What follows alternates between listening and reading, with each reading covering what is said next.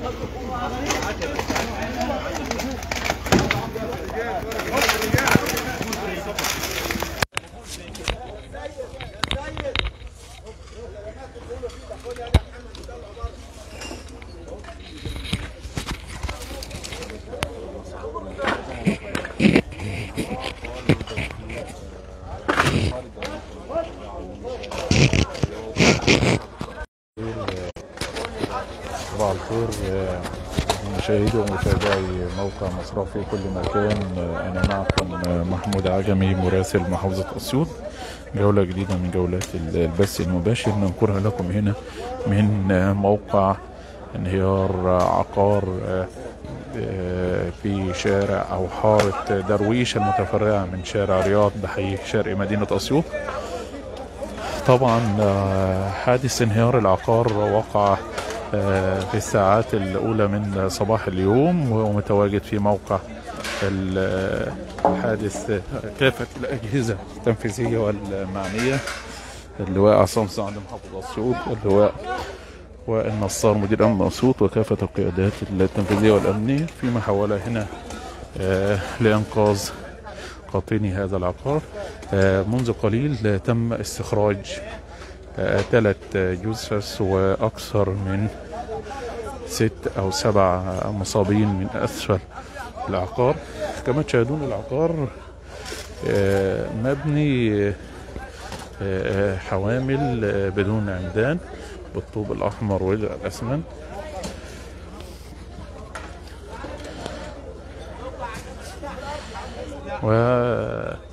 وتواصل الحماية المدنية ورجال الإسعاف. البحث عن ناجين أسفل العقار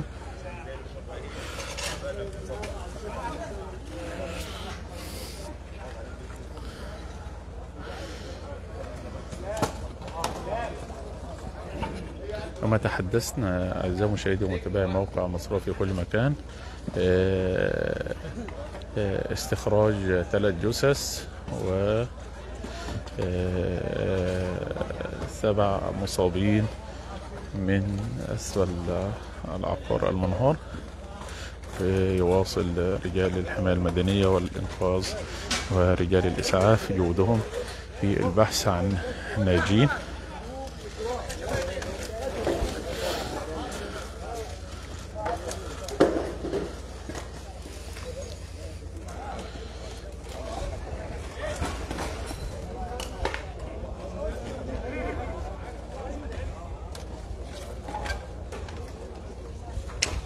أحمد.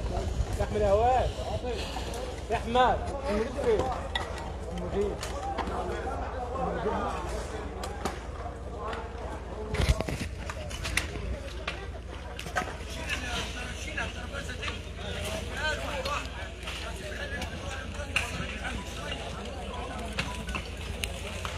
كما تشاهدون أعزائي متابعي موقع مصافي كل مكان استمرار جهود الحماية المدنية ورجال الإسعاف في البحث عن آه، ناجين أسفل العقار المنهار.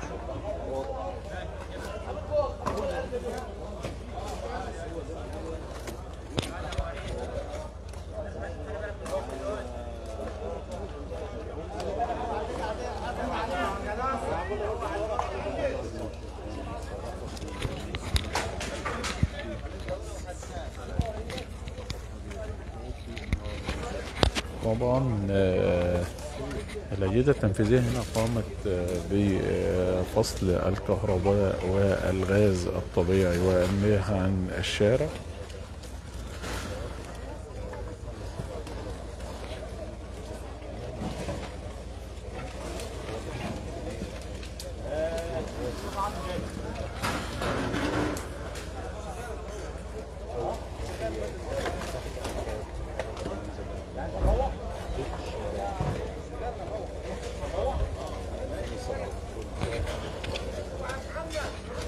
استمرار آه، أعمال البحث عن ناجين أسفل عقار أسيوط المنهار.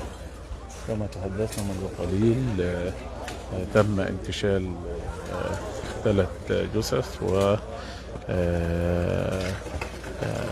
سبع مصابين من أسفل العقار. طبعا حادث انهيار العقار وقع في الساعة الأولى من صباح اليوم. العقار طبقا للإحصائيات الأولية م- مكون من أربع طوابق ومبني بالطوب الأحمر والأسمنت حامل آه، محمول.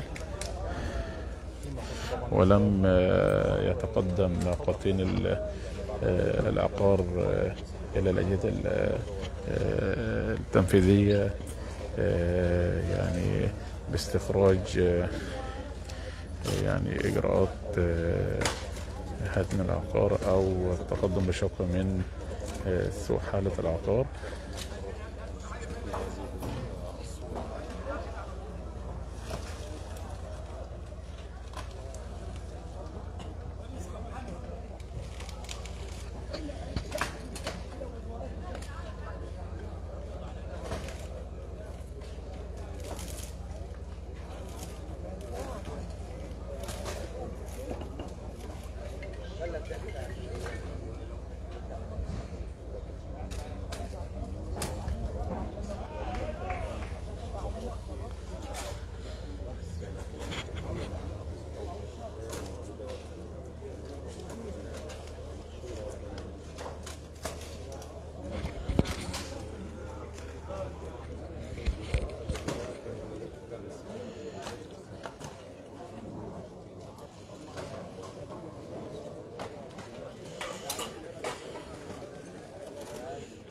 مستمرين في المتابعة والتغطية. آه، آه، شكرا لمتابعي موقع مصر في كل مكان.